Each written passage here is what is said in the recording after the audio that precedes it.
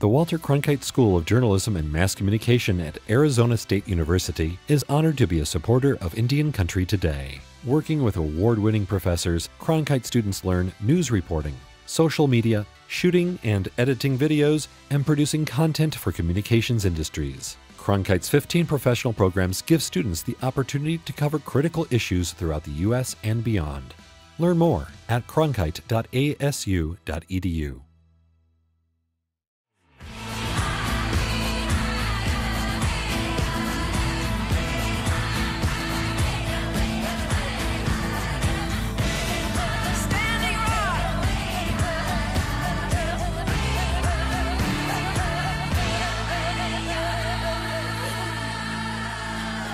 This is Indian Country Today. Esquili, yes, eh. Thank you for joining us. I'm Patty Talahongva. Here are the headlines from Indian Country Today. The Indian Health Service is joining the other federal agencies in suspending the use of the Johnson & Johnson COVID-19 vaccine. This after six cases appeared in the U.S. of a rare type of blood clot in people who received the version of the vaccine. For now, the Pfizer and Moderna vaccines will be used instead of the Johnson & Johnson vaccine. Late Tuesday, the Gila River Indian community in Arizona also alerted its community the Johnson & Johnson vaccine will no longer be used. IHS says it does not expect this pause to affect its vaccination plan for Indian country. As we enter the second year of the coronavirus pandemic, tribes are getting help from a university to continue protecting people from COVID. Correspondent Karina Dominguez explains how this resource is helping spread the word and not the virus.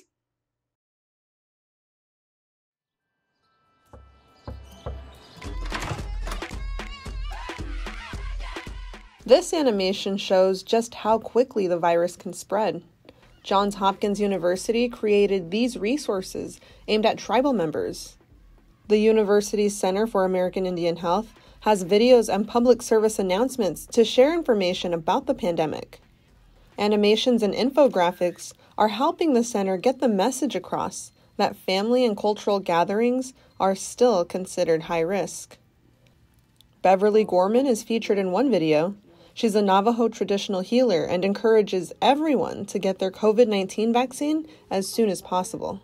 I want us to stop the spread of the COVID 19 and to protect our precious people. The website's biggest focus is on the importance of getting vaccinated. Many people have questions about the virus and the vaccine. I know I did. By talking with my health provider, I know the vaccine will stop us from becoming very ill with COVID 19. Scripts are also available for tribal radio stations to use, as well as fact sheets for community members.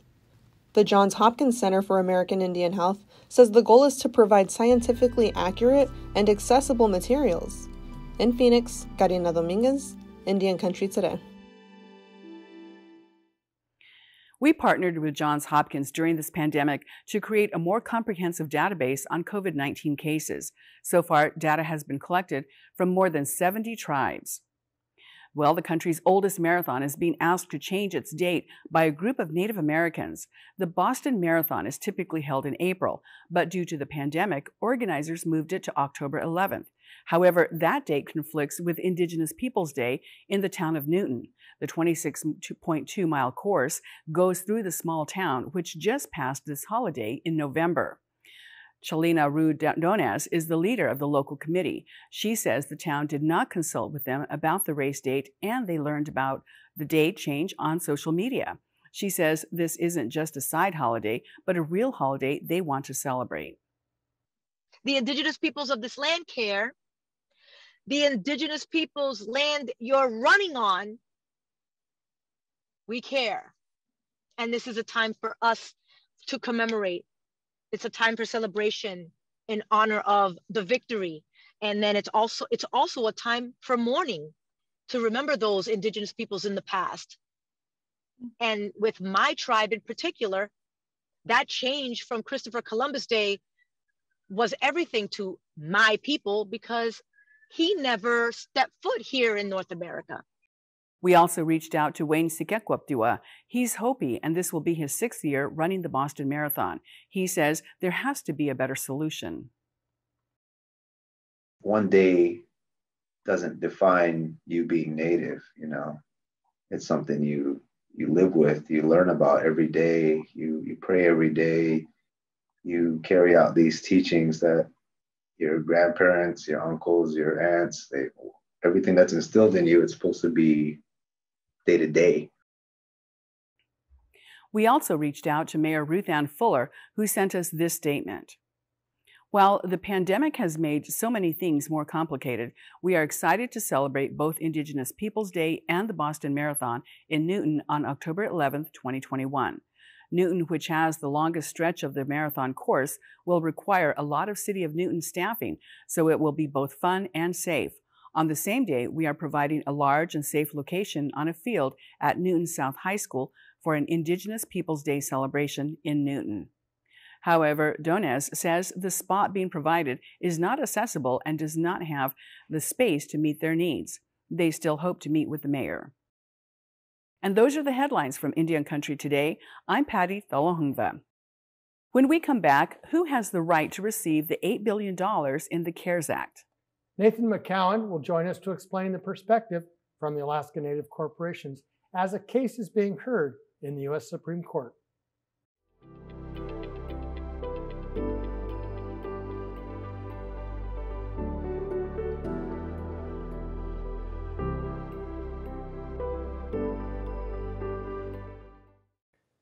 Just what constitutes a tribe?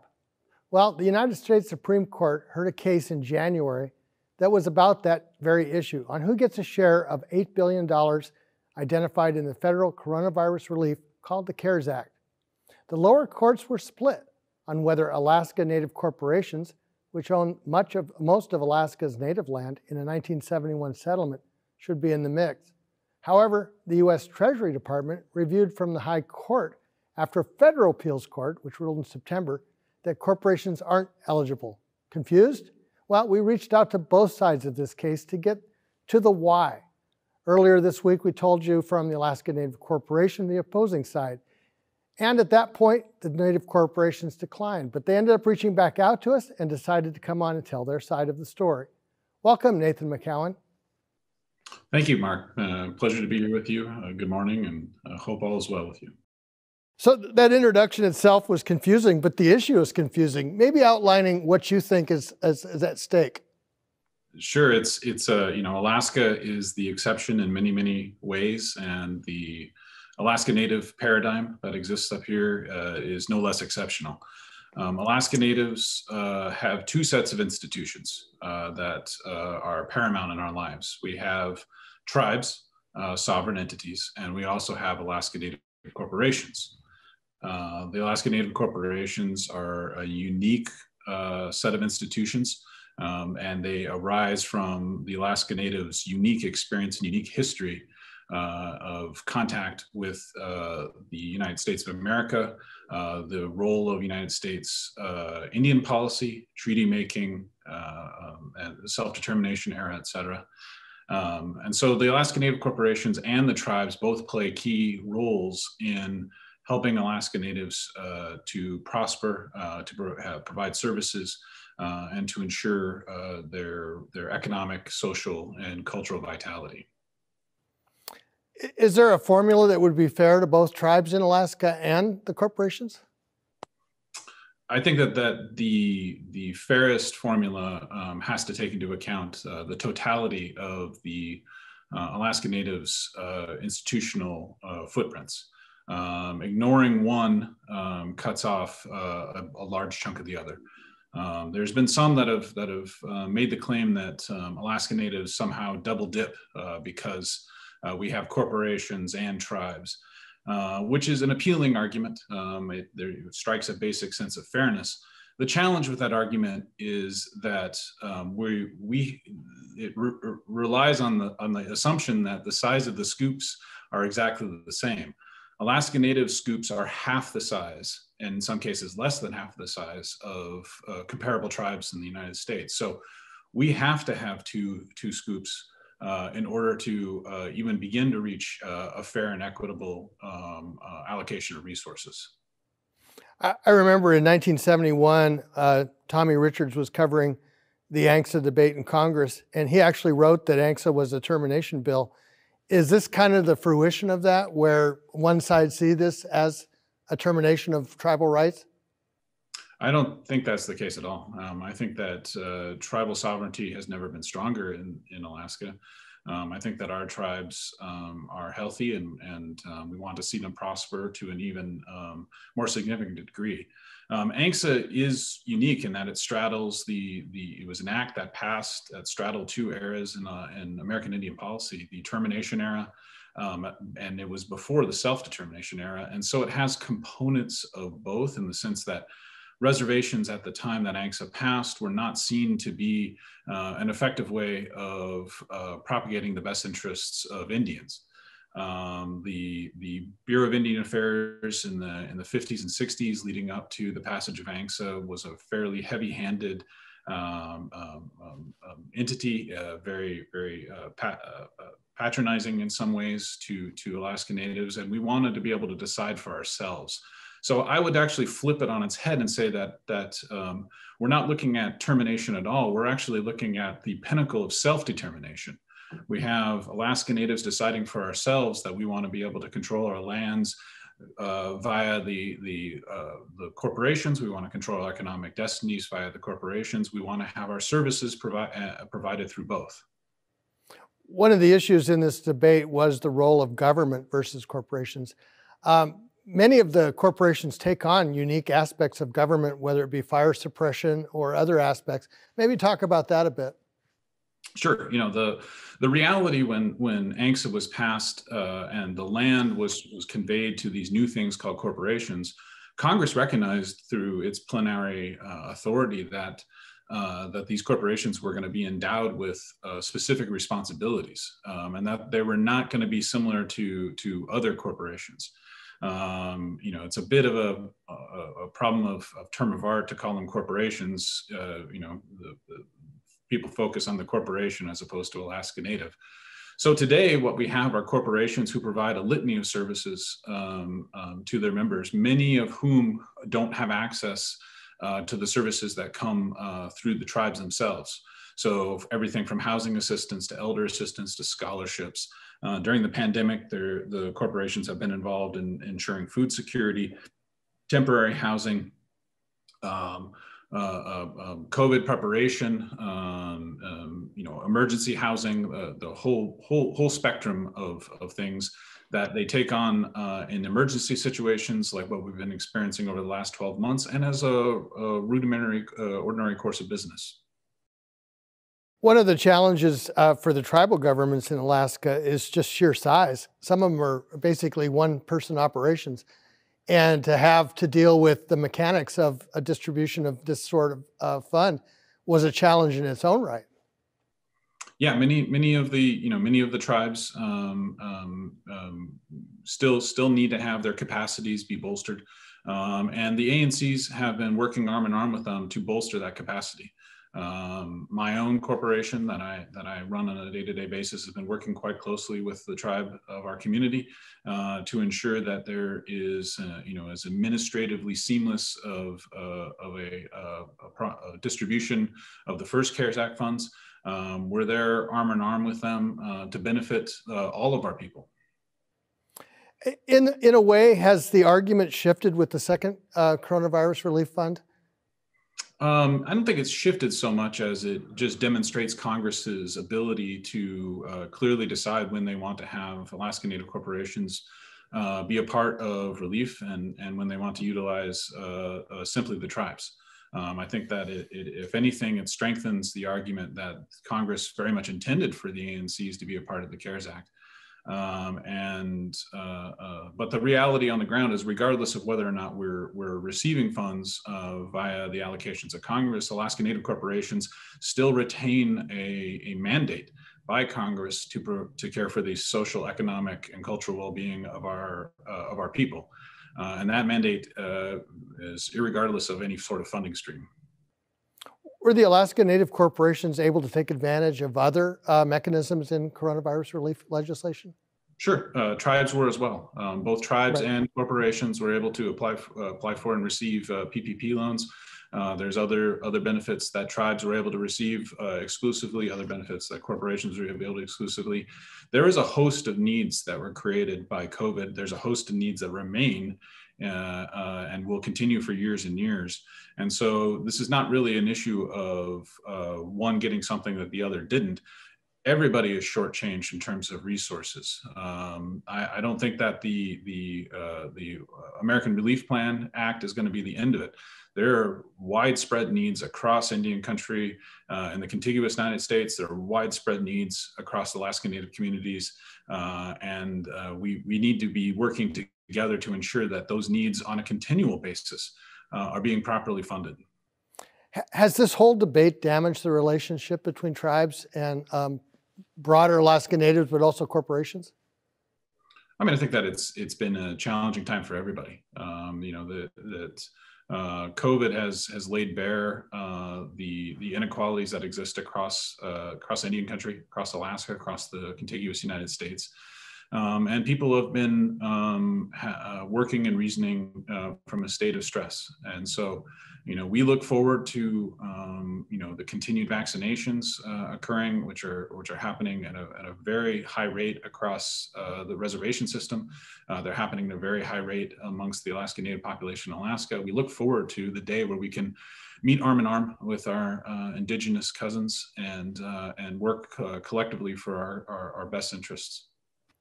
In fact, you mentioned um, the nonprofit sector, which really is a, a kind of the ultimate self-determination because, uh, for example, in Alaska, all of the Indian health system is basically run by tribes through nonprofit corporations. And that really came out of the corporate system as well.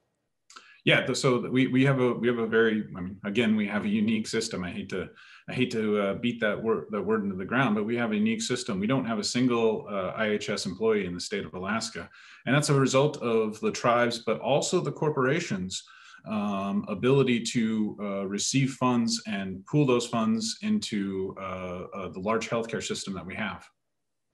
And um, around the world, it's recognized as one of the best. It's not that it's, it was something different; it was something better. I think you could argue. No, they're they've been they've been extremely efficient in the just in the deployment of the vaccines. Um, uh, we were we were uh, uh, um, we are seeing some of the highest rates of vaccination uh, across the country, and, and the large part is due to the efficiency that's caused by um, uh, uh, the, the the scale, the scope, the professionalism um, of of our of our regional nonprofits um, and our and um, ANTHC, which is the the collectivizing entity. We have less than a minute left, but what's your hope for um, the outcome in all of this? I hope is that that uh, the the recognition continues to to to to be there that uh, uh, the Alaska Natives way of life uh, revolves around both sets of our institutions, both our tribes as well as our Alaska Native corporations, and that uh, the the uh, Congress uh, continues to to realize that Alaska has an exceptional uh, history, uh, and that we can come together with our um, Indigenous brethren to to fight for the the collective needs that we all have. Thank you so much, Nathan McCowan, for joining us today. thank you. I appreciate it. When we come back, we'll check in with John Tahsuda on policies taking shape in the nation's capital.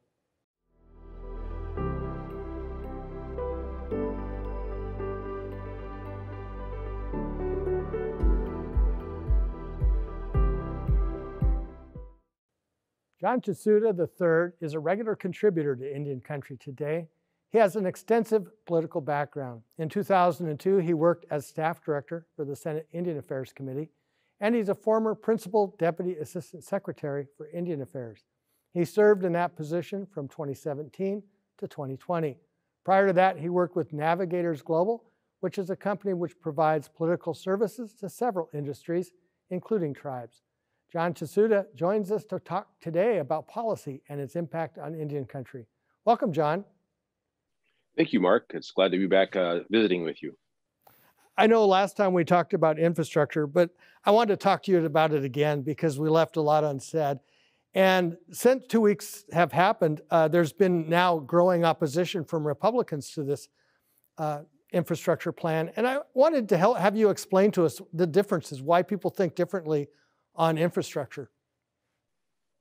Um, sure, and uh, you know, infrastructure is a is a uh, not just a hot topic now, but it's been something that's chronically underfunded in our country in general, and in and in Indian country specific.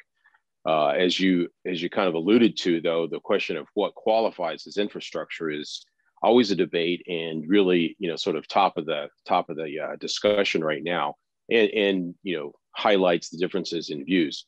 Um, so I, I, would say uh, first thing, you know, when we have uh, a, a, large package and, and uh, in DC parlance, you know, they call it a train, right? Everybody, they talk about people trying to hitch a ride on a train. So this infrastructure legislation that you know, they're debating that the president's proposed, you know, is viewed as something that will very likely pass in some form.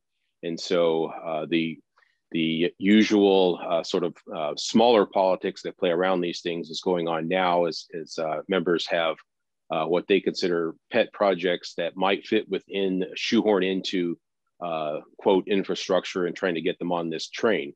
Um, but when you, you step back and you look at the larger picture, um, you know, there is probably, uh, you know, vast agreement on what, what most of us think is infrastructure. So roads, bridges, uh, you know, uh, in Indian country, you know, schools, hospitals, um, you know, all those things uh, have been underfunded for years and, and, you know, desperately need and could, you know, really move us uh, years ahead if we got a big shot uh, of uh, resources into to fixing and, and to updating that, that infrastructure. Uh, what happens again, you know, as, as folks look at something that is uh, a large piece of legislation moving forward that's going to have a lot of funding with it, they try to shoehorn other things in. And so, uh, you know, one, one part of that is looking at, uh, you know, President Biden proposing to put things like senior health care into that. And um, certainly, you know, if you think about healthcare broadly and the infrastructure needed to deliver it, you know, it's not you can look at it as not just sort of hard infrastructure, bricks and mortar, et cetera, but you know, sort of the the infrastructure to deliver the service. And, and I think that's how uh, some folks, including the president, are wanting to look at some things like the, you know, that, that particular piece of the legislation, senior healthcare.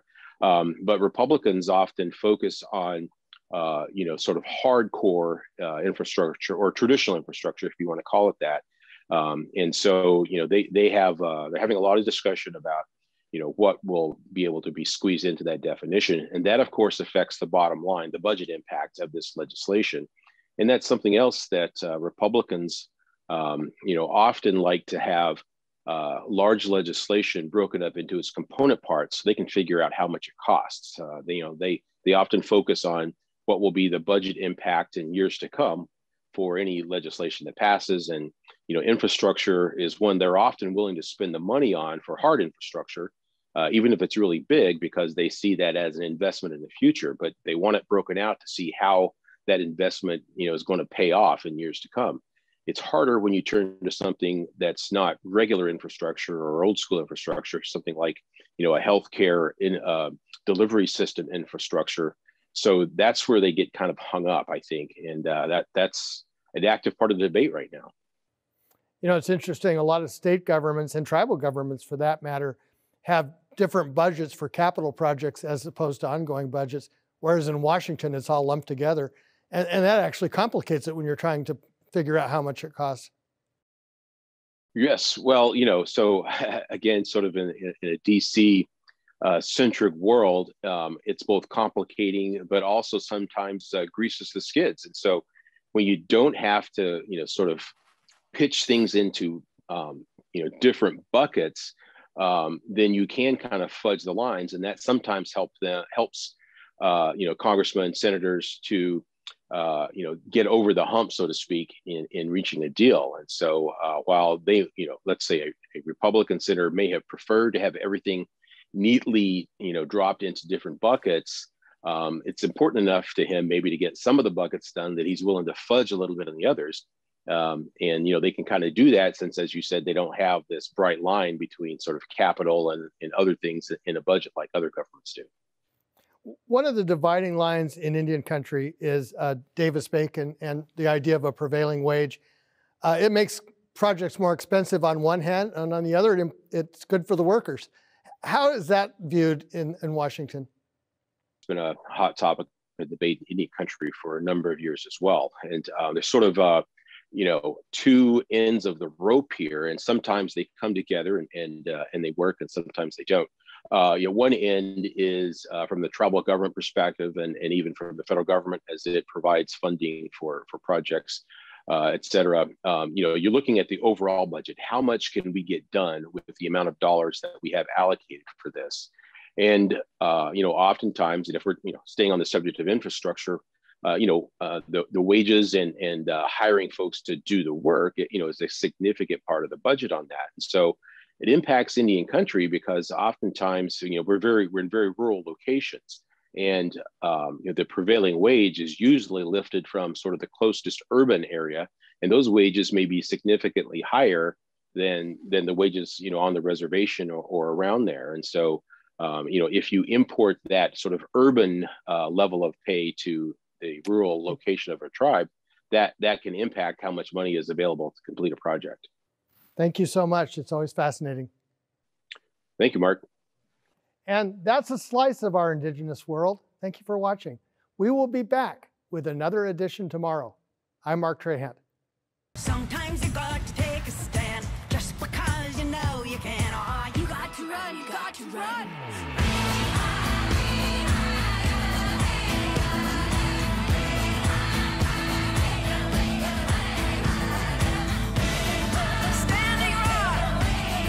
Indian Country Today is produced at the Walter Cronkite School of Journalism and Mass Communications at Arizona State University.